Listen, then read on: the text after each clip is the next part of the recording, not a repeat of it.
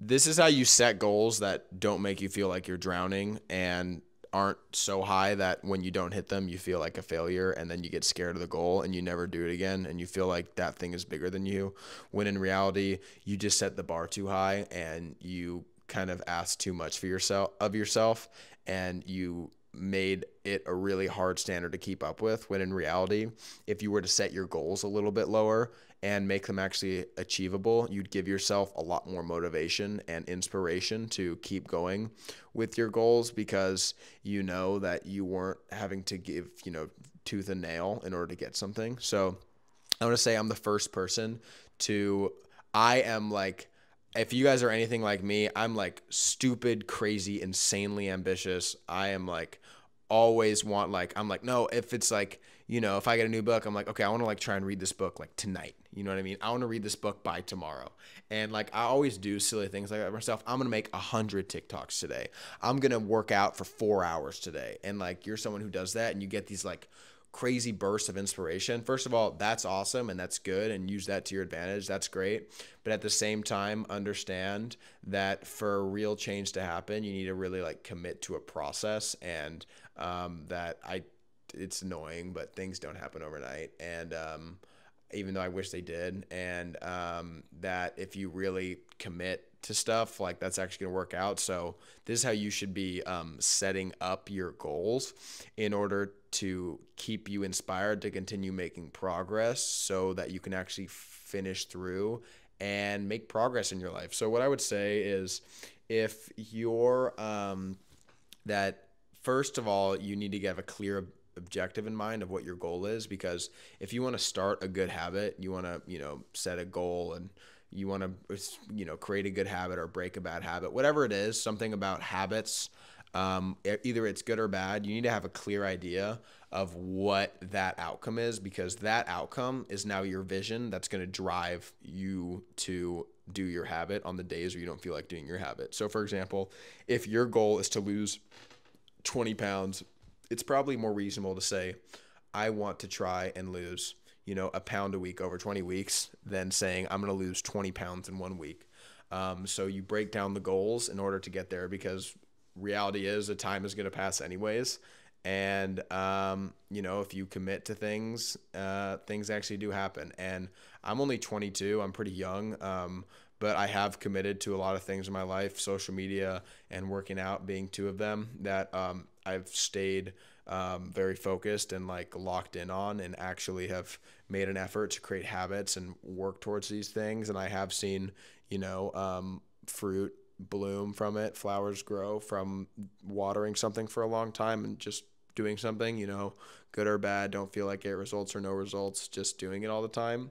And I want to tell you, first of all, that things actually do start to change in your life when you actually commit to stuff and i think it's great and i wish i knew that when i was younger i wish i had someone to tell me that hard work actually does pay off i wish i had someone to tell me that um, you know carrington if you were to do something for a very long time you will get better at it and you will be better at these things and be farther ahead than people who might have been born with innate talent or who might have just be better at these things than you. So um, you need to just to to break it down really you need to figure out what it is you want and figure out the action you need to do to get there so if it's as simple as like you just want to start reading more let's just say that you're like i should probably start reading more you shouldn't tell yourself that you need to read for two hours every single day because that goal is very, very scary. That is a huge time commitment.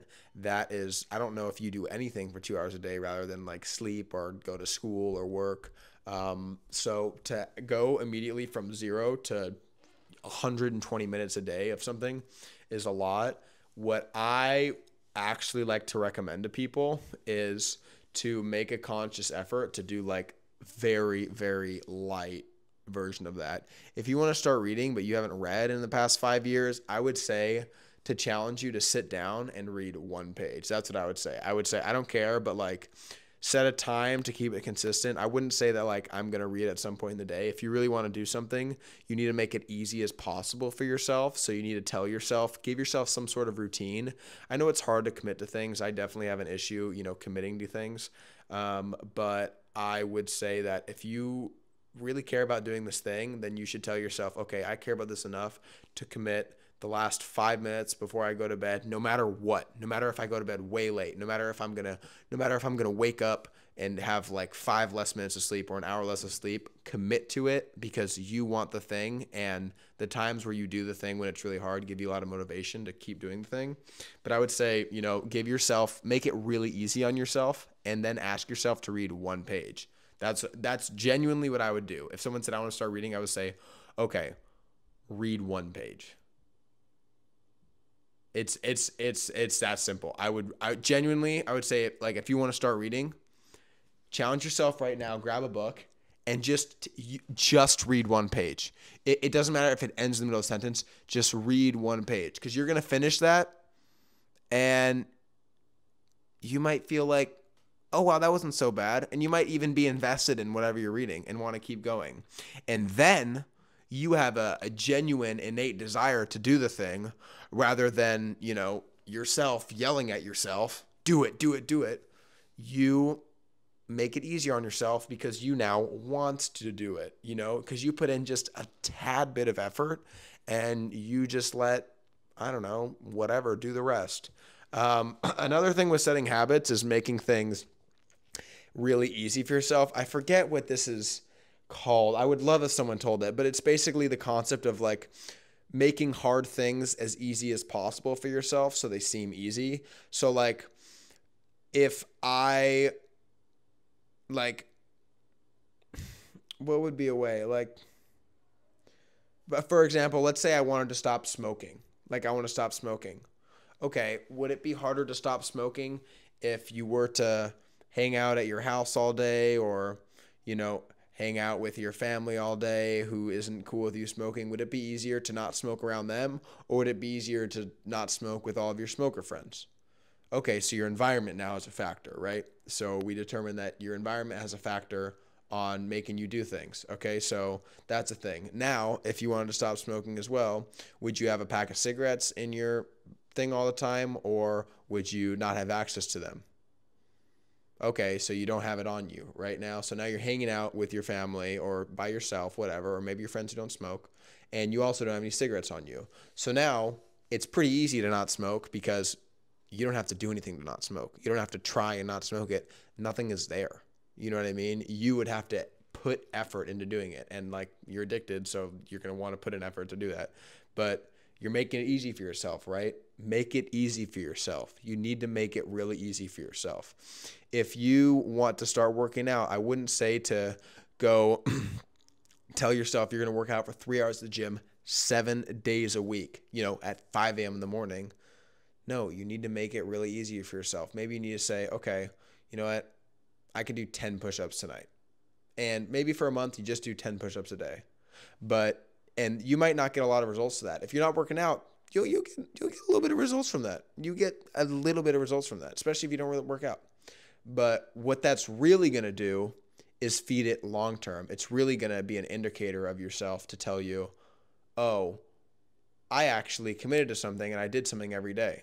Now I can up the stakes a little bit more. Now I can turn it up a notch and really commit to it and work at it." So, that's what I have to say about it. And I know it's not, I didn't really give you a very fluffy answer like just do these things, but make it easy for yourself and make it really achievable because for you to stay committed to long-term goals, especially if they're super long-term, like you really need to establish some sort of system in your life that where like it's easy to do the thing so you feel like you did the thing all the time and you establish some sort of reward system as well that like you did the thing for seven days cool. Like you're going to reward yourself by i don't know maybe you're going to go watch a movie or you get to go like slack off for a little bit or maybe you're going to go get chick-fil-a or something like that. But set up reward systems because in real life you don't really get like you know gold stars and things like that. You need to give yourself gold stars which is so real. Um, but yeah, that's what I would say. And I'd love to elaborate on it more. I'm just, I'm very big on goal setting and I have gotten better. And I still struggle with like, you know, setting the bar too high, but I'm getting better at setting the bar just high enough that where I have to ask a lot of myself, but I know it's not gonna you know ruin my life if I don't get it. So I love you guys. That's that, and uh, be the person wish you had. Thanks. I love you, YouTube Carrington USA.